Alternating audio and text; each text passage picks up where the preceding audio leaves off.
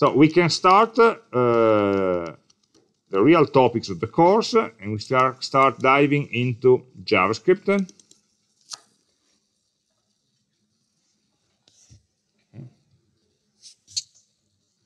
So we have uh, the first couple of weeks uh, where we'll start from scratch, from zero, about uh, JavaScript, and we'll end uh, in being able to create some uh, asynchronous applications. So uh, being able to create objects, structures, and um, asynchronous functionalities. Hmm? Um, so let's start from, okay, this is a cheat sheet where you find the, the link there that gives you a glimpse of all the most of the, of the most popular methods, but of course we are not learning that by heart. So the goal here is learning JavaScript, uh, as I mentioned, as a language. Hmm? So we are not starting from the browser, we are not starting from uh, a web application, but just, uh, okay, there's a new language, let's understand how it works. Hmm? Uh, understanding it, uh, what are, what, is, what are the, its um, specific semantics, its way of doing, way of representing information. Um, we will basically uh, wor uh, work with modern JavaScript, and we'll understand in a moment what, what this means. Uh, what is called something uh, ES6, ECMAScript 6, uh, starting from the 2015 lines of uh, updates. we have an update every year of JavaScript, but the most important, the refoundation of the language came with this version and then there was just incremental improvement. We will do some of them. But basically, uh, um, we try to, to refer to this version, which is supported everywhere, basically by Node.js, which is our interpreter that we are running on the server side, and all the browsers that also integrate uh, a runtime environment uh, um, supporting basically these versions and also the more recent versions. We'll also learn about a mechanism uh, where an older version of the JavaScript interpreter will be able, can be able to interpret a language uh, with uh, um, that uses some code that uses uh, newer features of the language, thanks to an internal mechanism of uh, rewriting all JavaScript into new JavaScript and vice versa. It's called transpiling, compiling from JavaScript to JavaScript, something which is complex, but uh, uh, fortunately it's hidden from us, from programmers. So basically, there's not much problem about aligning with the versions. But let's start from uh, JavaScript. As I mentioned, uh, it's uh, the most popular language. So you can fight about Python versus Java versus C Sharp or other, other things, but the, the, clear winner about the popularity of, of programming language will be JavaScript. So even if uh, everybody hates it, but it's there to stay. Hmm? By the way, what you're seeing here rising sharply is TypeScript, which is a, a version of JavaScript with uh, uh, static typing hmm? that JavaScript doesn't have. So basically, it's built on top of JavaScript. And so it's becoming even stronger. Um, it's a programming language, and uh, it's the only programming language that the browser is able to execute natively. We are reading here. So um, every browser you open will be able, of course, to read HTML pages and style them and so on, but will also uh, uh, have an interpreter for the JavaScript language. No other language is uh, understood by the browser. So that is the only choice that we have if we want to build something running on the front end. Uh, it also it may also run on the server thanks to people that some years ago took the, um, the V8 library from Chrome. So um, people from Google developing Google Chrome uh, were investing on a JavaScript interpreter they called V8, like you know the V8 cylinders in cars, in sports cars um, that was the engine for running JavaScript, a very efficient one. These people at Node just took out this uh, interpreter from the open source version of Chrome and made an independent product that they called Node.js. So Node embeds in a server environment, in a command line environment, the same JavaScript engine that is currently inside Google Chrome, with some delaying versions, of course. The name JavaScript has nothing to do with the language Java. So as soon as uh, you forget about Java, not just the name, but also the language structure, the better we are, because it's really a, a different, uh, runs on a different foundation. Hmm? Uh, and we have this sentence here that the first version of JavaScript, or the JavaScript interpreter, inside uh, what at the time was called uh, Netscape Navigator version 2. Okay, you probably weren't born yet, or nearly. Um, was written in, in 10 days. Okay, and it shows today. It shows that some design choices that were made uh, for getting something, rushing something together, and the, the, the, the, initial aim was uh, having a language for building some animations on web pages, something just for hmm, for aesthetical reason. Um, and so they invented this language, one person invented this language and they implemented it in the, in the, in the first browser. And uh, uh, many design choices, or oh, that they, they, they really weren't design choices, they were just implementation choices. Uh, still are show in the language that you, you, we will see that there's something strange in the language, no? some behaviors that we wouldn't expect, we wouldn't like to have there, and that's because of this, of this legacy. It was born like this, and some, for compatibility reasons, we cannot throw away some of the strange behaviors.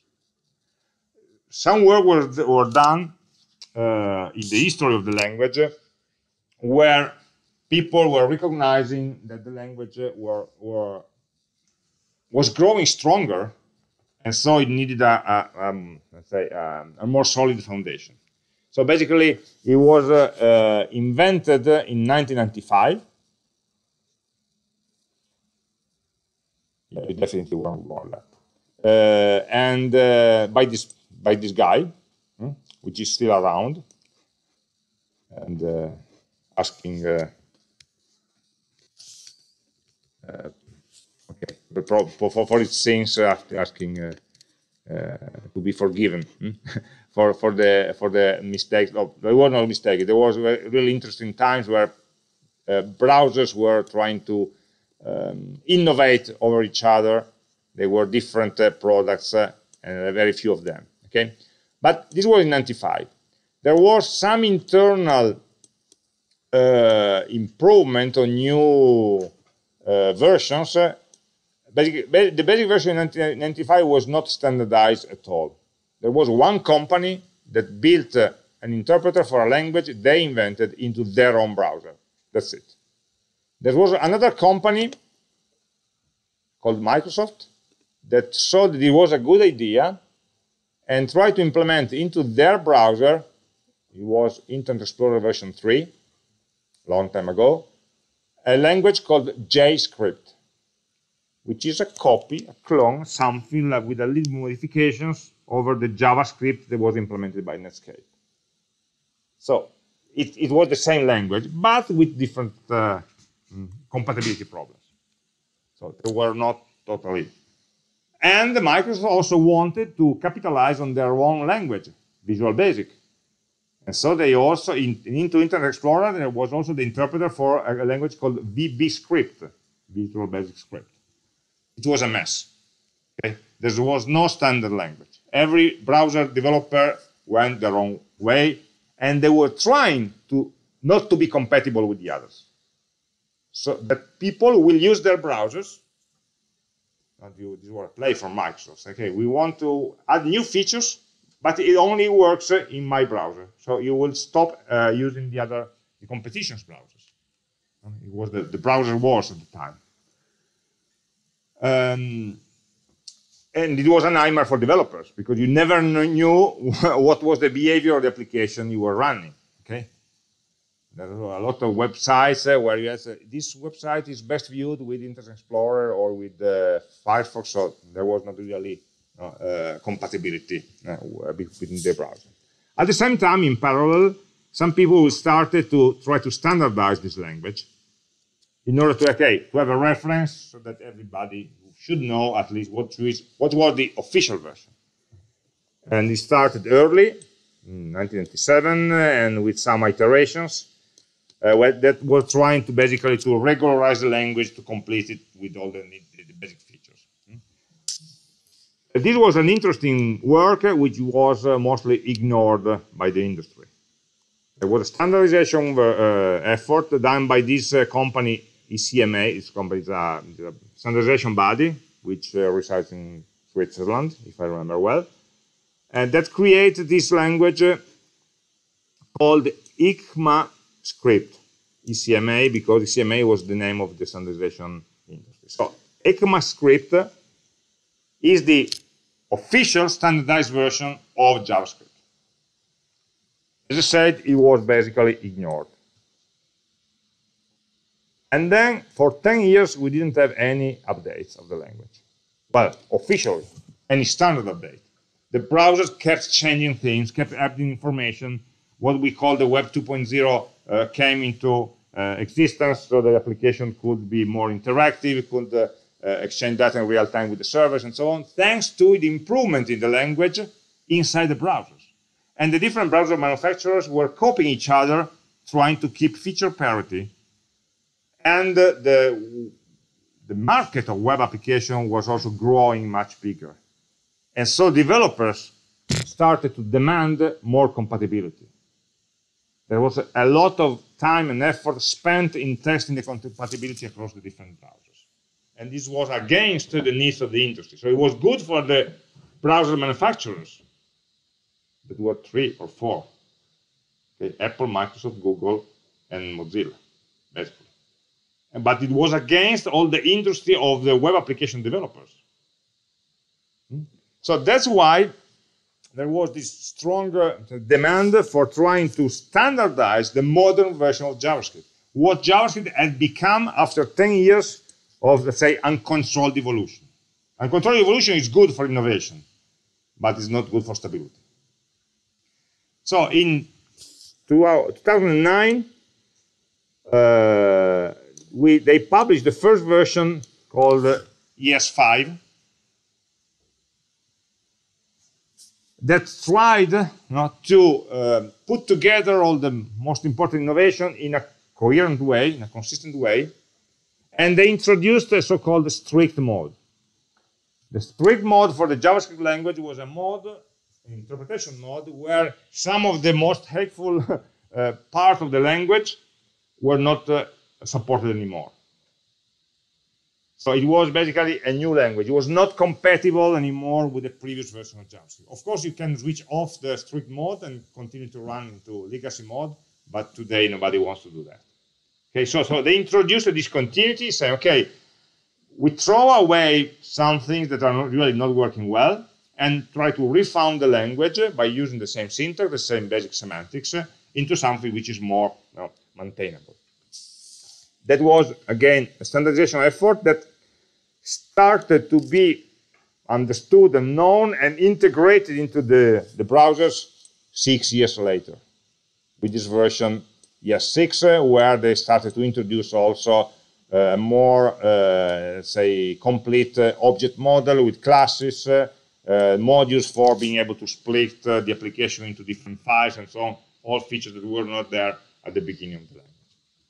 So basically, what we call modern JavaScript is uh, the kind of language that started uh, in this after this long uh, so period of time, and uh, this was starting to be adopted officially by all the browsers.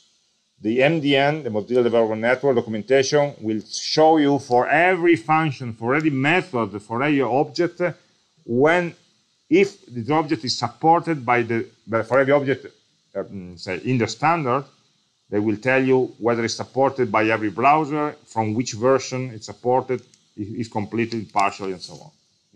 And we see that uh, uh, in recent times, all the browsers are supporting the, say the, the, totality of this version.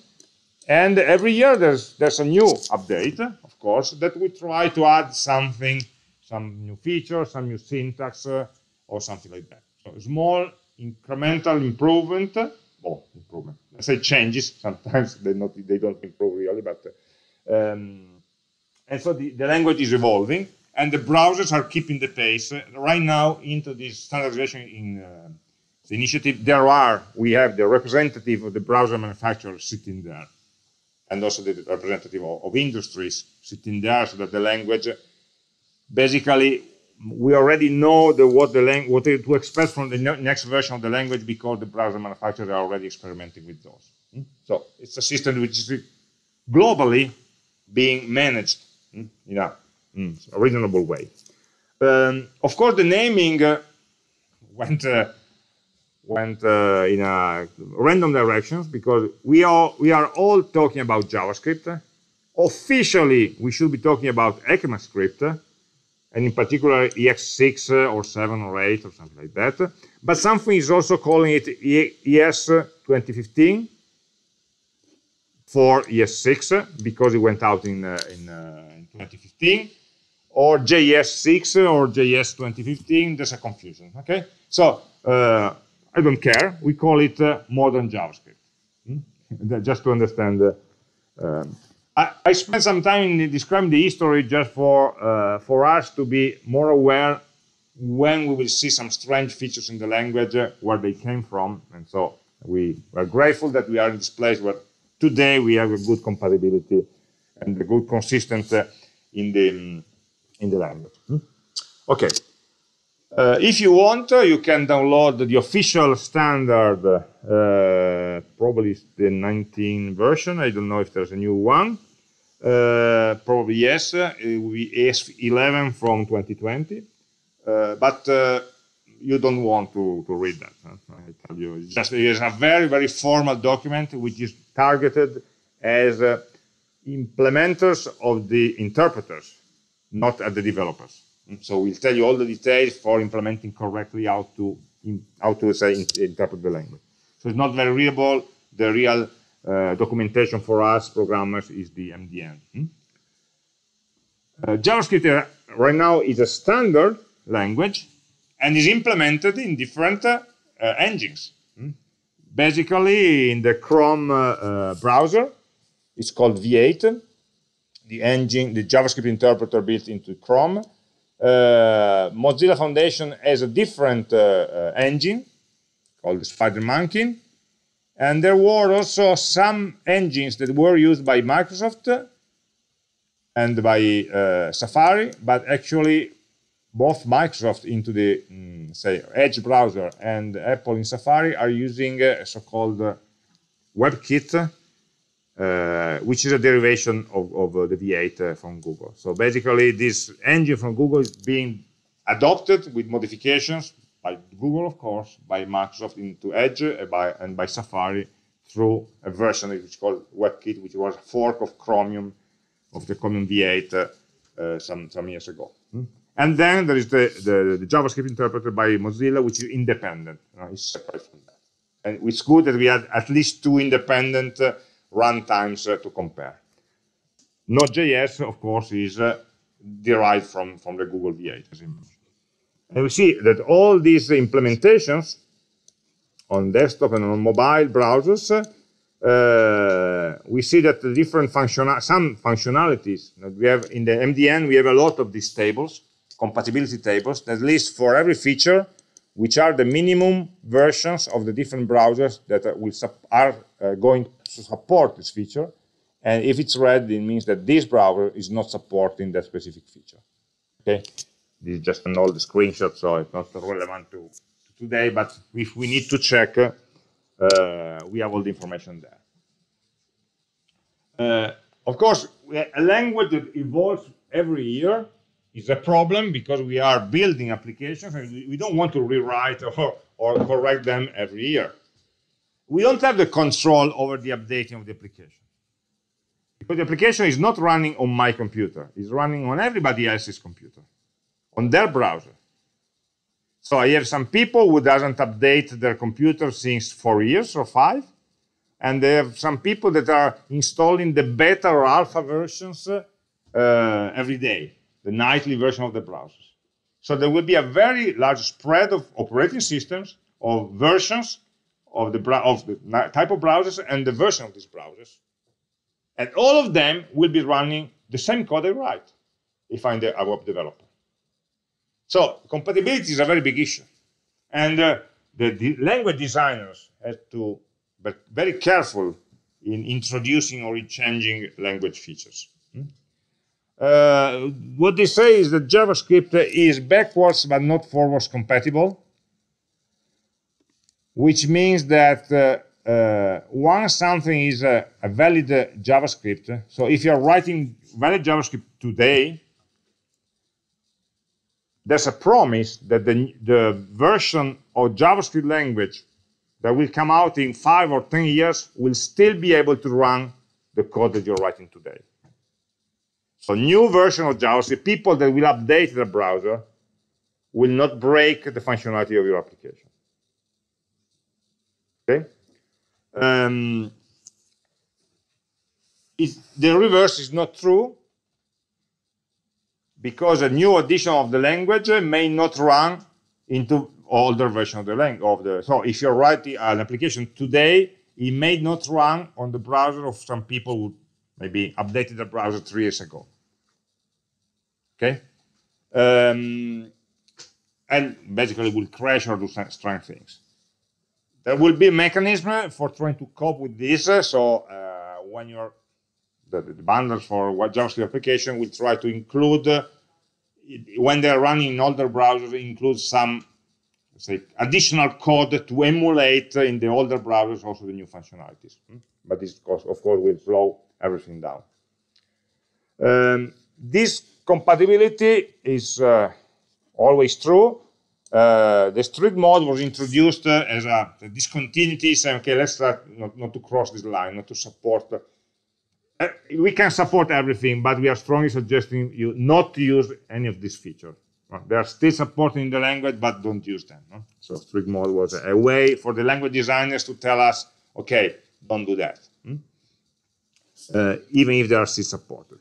And there are these mechanisms with strange names, names like transpiling polyfilling, try to, that are mechanisms for um, taking a version of a, of a of JavaScript program and enabling it to run into a runtime environment that doesn't support all the functionalities.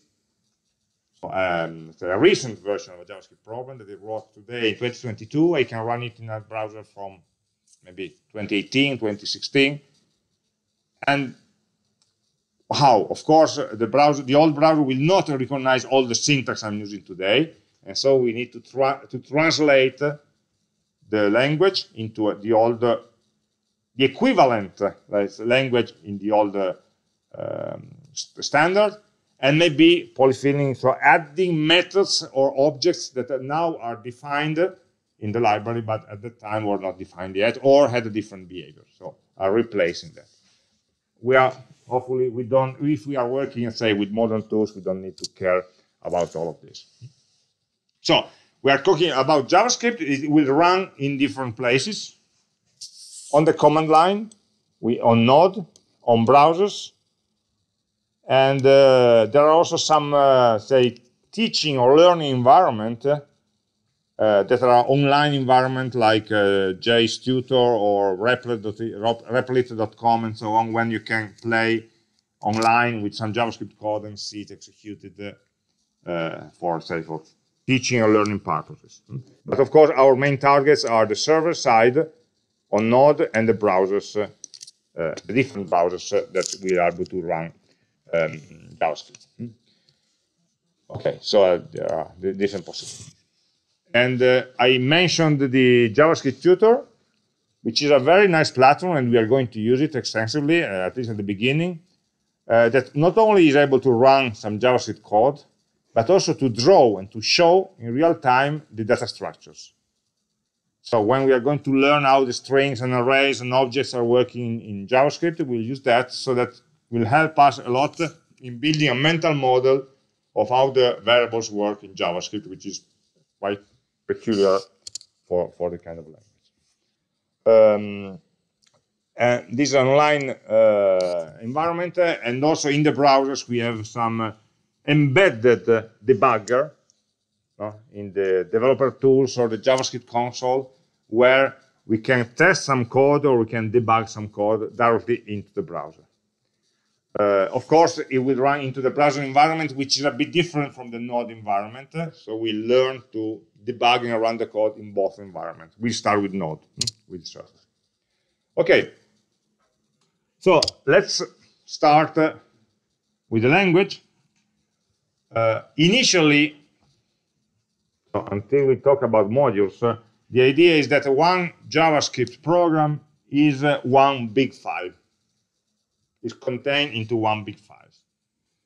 If you have a program which is, if you want to split a program into different files, uh, maybe because you want to use some libraries also that you didn't write yourself, there are mechanisms for, let's say, having your source code split in different files and putting it all together into the interpreter so that the interpreter will see one different, one, one single context. Hmm? So this creates some this assumption where all the JavaScript is concatenated into one big file and then it's run, creates some problem of scoping. Okay, so if you are defining a variable in one file, strange enough, that variable will be visible from a different files if you're not careful, just for this mechanism.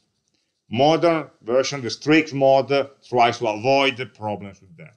Hmm? Um, the execution model of JavaScript is uh, in two steps. The first step is the parsing of the language, and the second step is the execution of the parsed content. by execution, we mean interpretation. This means that the parsing is always com uh, done completely before the execution of the first line. So if you have an, it's an interpreted language, of course, it's not compiled. But if you have a syntax error on the last line, the program will not start even from the first one. Okay, so the parsing is done at the beginning and the execution later on. If you are running, if, if, the, if a JavaScript program can be started, it means that it doesn't have any syntax error. Okay, which is good, basically. Um, and of course, there is a standard library that predefines a set of objects that you can use. Uh, there is a standard library defined by the language specification. And then there are extensions of this library in the node environment, where node provides you some additional environment, or in the browser environment, where the browser provides you, for example, with access to the web page or to the, to the information which is there.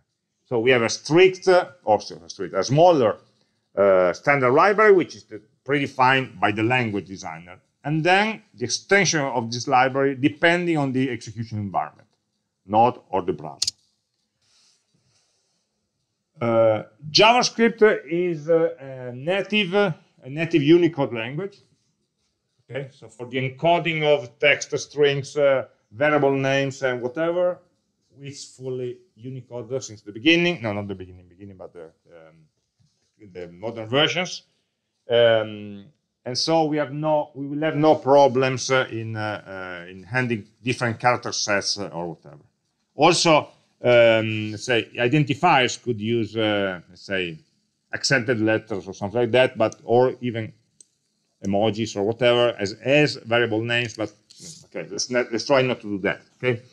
Um, this is because uh, the Unicode was chosen as the encoding for the web, so also HTML nowadays should be all encoding Unicode. Okay, so basically, we don't have problems that we have in other languages, like we have in C or in C++, or we had in Python 2, where we also had where we had to explicitly manage the encoding and decoding from to or from Unicode. Here, it's all natively Unicode strings.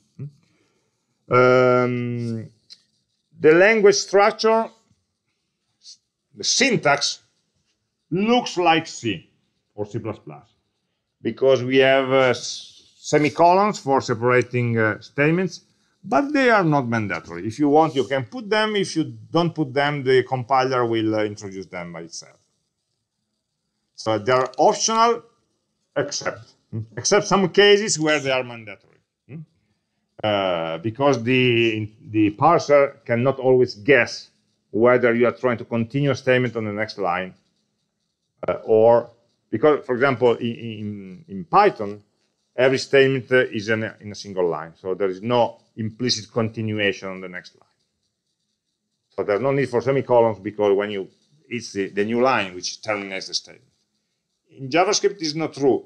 Uh, lines are not significant. So you can write an entire program just in one line or split every word into a separate line. So the interpretation of language is, the same. And so the insertion of semicolons cannot rely on new lines, can only rely on the syntax. Of course, if you have a for keyword, for example, in your program, the for is the beginning of a new statement. And so the whatever comes before is the previous statement. Uh, the compiler can insert a semicolon there. There's no ambiguity. Hmm? But if you have a, an, say, an open parenthesis, this open parenthesis could be the beginning of an expression, or could be the parenthesis for a function call in the previous line, and the interpreter doesn't know. So, to be conservative, I tend to put semicolons everywhere. Okay, so I'm I'm I'm more sure of what I'm writing. But other people argue that okay, since they're optional, why we bother putting them? We will only put them when we know they are needed. Different programming styles, of course. Hmm?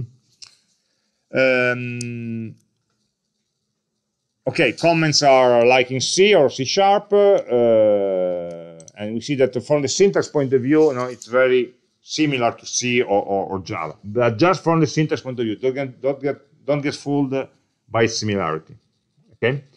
Okay, this is the semicolon issue that uh, uh, you find a lot of debates uh, whether to put them or not. we just know that when they can, when a semicolon can remove without ambiguity, the compiler is able to insert it back. If you put it there, it doesn't do any harm. Uh, the strict mode, where we disable some uh, bad uh, syntax or bad semantics, is activated if we uh, put a, a, very fake statement at the beginning of the file. If your first line, first executable line of the file is a string, string, use strict, semicolon, which is a null statement. No? It's an expression, like you, you can write three semicolon, even in C, in any language. You write an expression, and then it's over. So the, the expression is computed, and the result is, is discarded. Okay? You, you, we don't do it very often because it's useless. But uh, if this beginning is this string is uh, literally use strict, then the rest of the file will be parsed and interpreted with a strict mode syntax. And we are going to do that always. Okay, for us it would be uh, the normal way.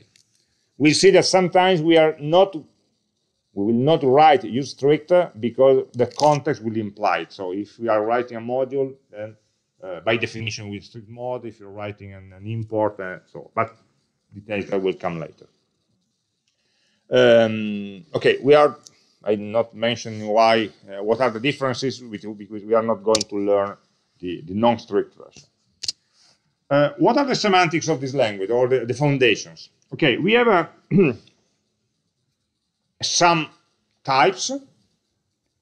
And the first uh, observation is that in JavaScript, uh, every value has a type, but variables don't have a type. If you're familiar with Python, it's the same. A variable is just a, a pure reference. The variable A can ref refer to a string value, to a number value, to an array value, to an object value, in the same variable can change type. The variable doesn't change type. The variable doesn't have a type. Can refer to objects of different types in different moments. So what instead of uh, Java, where when you declare a variable, or in C or in C++ or in C Sharp, when you declare a variable, you must declare a type for that variable, in JavaScript, like in Python, when you declare a variable, it's just a name. Uh, the value is associated, sorry, the type is associated with the value. So every value, three. Okay, three is a value of type number. ABC, it's a value of type string. And then we can have a variable that will reference that value. Pointers, okay? Things uh, at, uh, don't think like that, but think uh, think of the JavaScript variables like they were void pointers, okay? Pointers to values. The pointer itself, the variable itself, doesn't know about the value, but the value itself knows everything about itself. Okay. Of course, if we are sensible people, we will not change the type of the object a variable points to just for fun. We try to be consistent. Okay, so if you are declaring s as a string, we'll keep using s as a string. If we need uh, an integer, well, let's, okay, let's use another name, please. Let's not reuse the s that was used three lines before the string if we don't take ourselves uh, when we need to write uh, or understand our code. Okay, what are the types uh, of the values that are supported? There are some primitive types in JavaScript, and there are just this handful, five. String, number, boolean, and then there are null and undefined, which are special types, uh, with only have one value, which are actually null as null value and undefined as the undefined values. Um, string is a native type. There's no character single char uh, type. It's everything is a string. Okay, string can be written with uh, single quotes, double quotes, or back quotes. Your choice. There is a single number type, which is both for integer and floating point numbers. They are all number. Internally, they will be converted and they be, will be dealt as integer or as a floating point, but they are not different types. They are all of type number. These are just the predefined types, of course, and there are extra types. Boolean, true and false with the lowercase t and f. Uh, uh, and then, okay, null and defined. And then there is a big container called object types, where we have some predefined objects, basically arrays and functions. So it's a bit strange because string is a primitive type, but array is an object type. This means there will be some asymmetries, but okay, we'll uh, learn to handle with those. So an array is a predefined object type in the library. So the behavioral arrays, array is a powerful type here. And uh, that does a lot more than normal arrays. Um, and you can, of course, define your own objects. Next class will de, not, not today, but on Thursday we'll, de, uh, we'll understand what it means to define an object in JavaScript. Basically, the strange thing is that uh, to create an object, you don't need uh, to define a class, like in other languages. You just can create an object with the property that you want. It doesn't need to be instantiated from a class. Instantiation doesn't happen in JavaScript. It's strange. For today, let's forget about that. And the other strange thing is that function is not a separate type, but is a object. So functions are objects like arrays, like uh, pre-user-defined objects, and so on. And this gives us some pretty interesting behavior from functions, because functions are objects like any other object in the language. They're not special syntax. Of course, they have a special syntax, but once you define a function, you can work with that function like you could work with an object. So you can modify it, you can pass it around, you can return it from functions, you can duplicate it, you can do operations on an object that by itself is a function. And as a function, it can be called. Okay.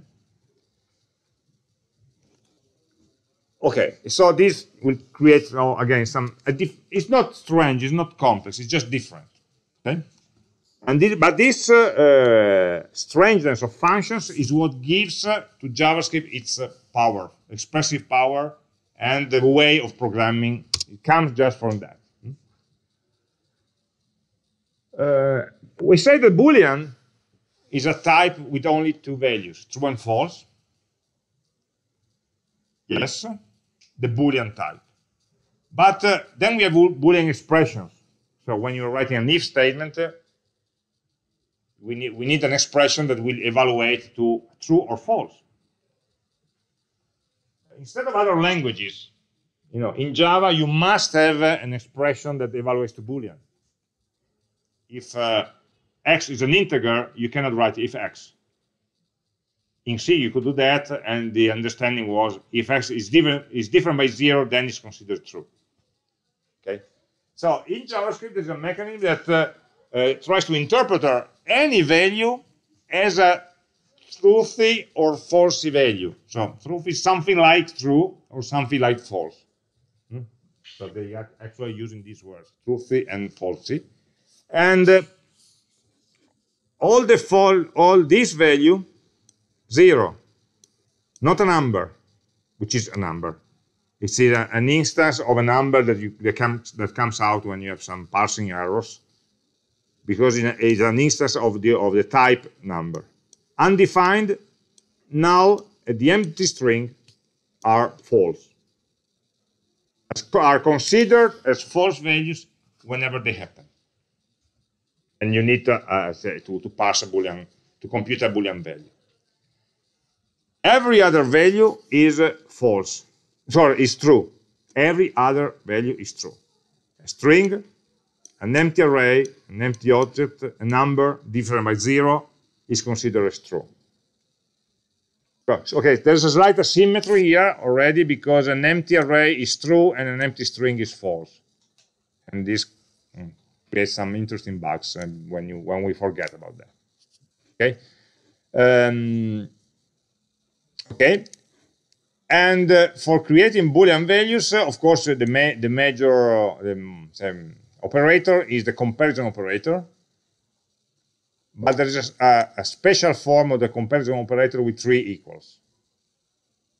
Okay? What does it mean? Is that JavaScript is always very uh, forgiving about uh, type mismatches. If you are writing an expression with different types in your variables, so you are trying to add an, an integer with a floating point, it's easy we will convert the integer to floating point and then do the addition. If you try to convert to, uh, let's let's try that. Let's use uh, directly in the console. Node is an, also an interactive uh, interpreter, so we can write instruction there and write and see the result. So of course, if I write 3 plus 2 is 5. And 3 plus 2.1 would be, okay, 5.1 This is a normal promotion of uh, numerical types. Uh, if you write uh, 3 a plus b as strings, it will give me ab as a string. If I try to do a plus 3 as a number, we would expect an error. You cannot, in all the other languages, it will be an error. You cannot sum string with a number. And JavaScript is not an error because it will first try to convert the number to a string and then apply the plus, which is a concatenation operator on strings. So before doing an operation, JavaScript will always try to promote the types to a common level where they, it can do the operation. Also in comparison. So if you ask uh, JavaScript is if A is equal to B, of course it will be false. If uh, 3 is equal 4, it will be false. And of course, if 3 is equal to 3, I expect it to be true. But what is strange is that also 3 as a string is equal to 3 as, an, as a number. Because the, the same rule applies as we were doing with the plus operator. Types are different. Let's promote them to a common type and then do the comparison. Especially when we are doing comparisons, this is something that we don't like. Okay, in doing operations, maybe it's uh, something which is convenient for us, but in comparison, no. So they introduced a new triple equal uh, operator, which is compare the two expressions without promoting types. So we are just suppressing the automatic type promotion for this specific operator. So the suggestion normally is to learn to use by habit always the triple equal. Unless we want, because we can, we, may want it, it's not forbidden, we want a type uh, uh, promotion and then we use the double equal. Okay, so just as a habit, let's try not to use the double equal, but only the triple equal. So it's more, it's not a different uh, operator. It's just in this implementation, the promotion step is disabled. There is no way to disable that for uh, uh, any other operator. So it will always happen. Um, okay. There are these special values.